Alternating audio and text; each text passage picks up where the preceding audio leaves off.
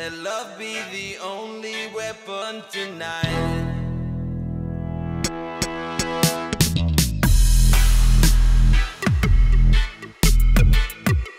तो रिसेंटली मेरा ब्रेकअप हो गया और आई एम वेरी हैप्पी और करने की ज़रूरत नहीं ठीक है? क्योंकि क्योंकि उसने मेरा जीना हराम करके रखा हुआ है, ठीक है? बट मेरी लाइफ की आयरन ये है कि अभी मेरी गर्लफ्रेंड नहीं है, लेकिन मेरी बहुत सारी क्लोज फ्रेंड्स हैं। वो जो लड़कों की क्लोज फ्रेंड्स होती है ना जिनके साथ अगर आप रात को बारह बजे घूम रहे हो तो उसके घर वालों को कोई दिक्कत नहीं होती है। और वो आपका नाम लेके अपने बॉयफ्रेंड के साथ चली जाती है। और आपको बदले में व्हाट्सएप पे तो मुआ मुआ मिलते हैं, बस इससे ज़्यादा कुछ लाइक वो इतनी क्लोज फ्रेंड्स तो रैंडमली आपके पास आ गई थी। देख देख, मैंने दो महीने से वैक्सीन नहीं कराई। मुझे नहीं देखना है देख देख, चोटी बन जाएगी तो मैं क्या करूँ यार मतलब। I am not interested in all this यार।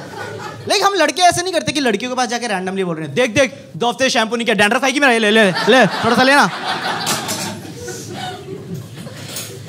तो जो मेरी बंदी थी ना उसके पास ना गेम्स थी मेरे साथ खेलने के तो सबसे पहली गेम थी उसकी क्वेश्चन आंसर राउंड उसमें वो क्या करती थी, वो रैंडमली मुझे किसी हाइपोथेटिकल सिचुएशन में डाल देती थी।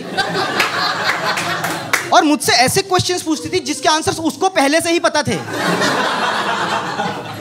तो एक बार हम खाना खा रहे थे कहीं तो रैंडमली शीज लाइक अच्छा सुनो, अगर मैं मर गई तो क्या करोगे? खुद ही जवाब ऑब्वियसली दूसरी पटा लोगे ना, तुम्हारे पास लड़कियों की कमी थोड़ी ना है। फिर आप इससे उभर रहे होते क्वेश्चन नंबर टू मुझमें और मम्मी में किसको चूज़ करोगे? व्हाट ऑब्वियसली मम्मी को, मेरा क्या एक कोमल जाएँगी, सौ कोमल आएँगी मैं कहा, यार तो खुद ही खेल ले। मुझे ऐसी गेम ही नहीं खेलनी, इसमें मुझे पार्टिसिपेशन अलाउड नहीं है, ठीक है?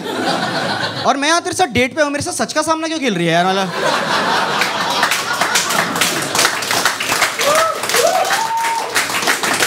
लाइक इट फेल्ड लाइक मेरा नार्को टेस्ट चल रहा है लाइक बता, मम्मी को चूज़ करेगा, किसको चूज़ करेगा? बोल।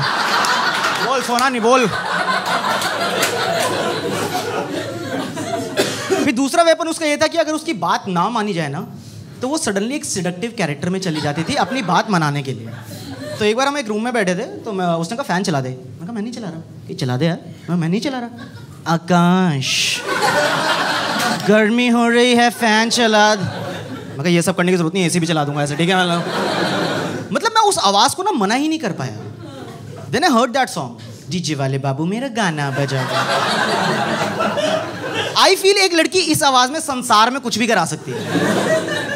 Like she can go to McDonald's like McDonald's वाले भैया मुझे फ्राइज खिला दो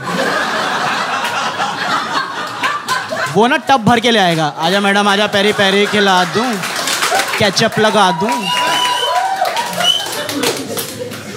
मील बना दूँ। बट देखो, जैसी भी थी, काफ़ी क्यूट थी। ठीक है? मेरी बंदी जो थी काफ़ी क्यूट थी। लेकिन इतनी क्यूट थी कि वो गाली भी पूरी नहीं रहती थी, आधी गाली रहती थी। च्यू कहीं का?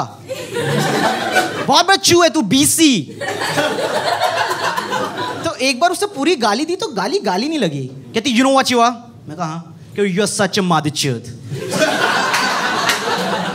तो मुझे लगा कोई नया जोडियक साइन आया। मैंने बोल दिया, मैं कैप्रिकॉन ना मैजिश्योत क्या होता है ये, है ना? तो जितने टाइम हम रिलेशनशिप में थे ना तो उसको कुछ चीज़ें करना पसंद थी तो वो मुझे साथ में ज़बरदस्ती ले जाती थी, क्योंकि हम रिलेशनशिप में थे। लेकिन मेरे को क्लबिंग बिल्कुल पसंद नहीं है, उसको बहुत पसंद थी। तो वो हमेशा मुझे फ्राइडे नाइट को दिल्ली में एक जगह हॉस्कास विलेज वहाँ ले जाती थी। और लड़कियों को बहुत शौक शौक होता है लाइक क्लबिंग जाने का यू नो ऐसे ड्रेस व्रेस पहनेंगी हील्स वील्स पहन के चल रही हैं। कुछ लड़कों को बहुत शौक होता है वैसे टाइट वाली टी शर्ट पहनते हैं स्पाइक्स इतने नुकीले निकाल के मारते हैं किसी के मतलब। क्या स्टैग एंट्री देगा तेरा? बाप भी देगा साले हाँ।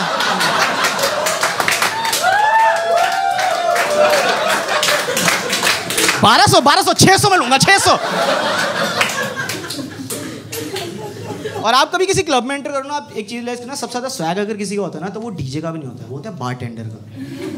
ये नौ बजे ना आपको जेंटलमैन की तरह ट्रीट करता है। Yes sir your whisky oh sorry with ice बारह बजे इसको माता चढ़ जाती है। इन्होंने पी भी नहीं होती, फिर भी ये नाच नाच के ड्रिंक्स बना रहे होते हैं अपने ट्रिप में चले गए होते हैं ठीक है? फिर आप इनसे ड्रिंक मांग लो, इनके स्टंट शुरू हो जाते हैं, सर, एक सेकेंड मैं कहा वेरी नाइस एक मौत का कुआँ भी लगवा देते हैं तेरे लिए, ठीक है? तो वो भी कर ले, मैं ड्रिंक मांगी सर्कस देखने नहीं आया हूँ मैं यहाँ पे। और इतना टैलेंट है तो शाबाश इंडिया में जा इंडियाज गॉट टैलेंट में जा। वहाँ तेरे टैलेंट की कदर है, माँ ट्यूबलाइट अपने ऊपर, वहाँ मतलब। And while they doing all this ना तो आधी शराब नीचे गिर रही होती है। अरे साले, तुम्हारे पास इतनी फ्री की तो हमें इतनी महँगी क्यों बेच रहे हो? क्योंकि क्लब्स में दारू अंधी महँगी होती है आपके कपड़े उतर जाए, इतनी महँगी होती है। तो हम सोशल गए थे। तो वहाँ पे हमने एक एल ऑर्डर करी। वो वहाँ ना, वो केमिस्ट्री लैब वाले बीकर में आती है, बड़े वाले में। सभी गए हैं।